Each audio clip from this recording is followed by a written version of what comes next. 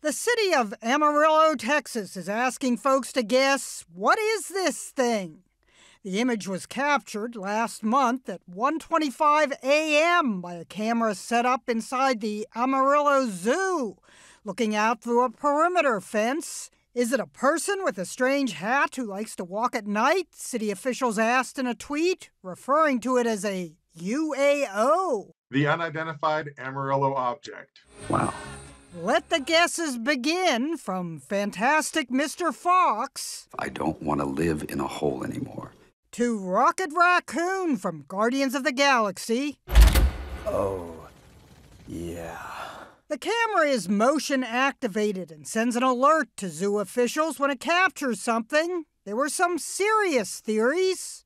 A raccoon standing on its hind legs, or potentially a person walking through the park that just happened to get captured in a, a peculiar way.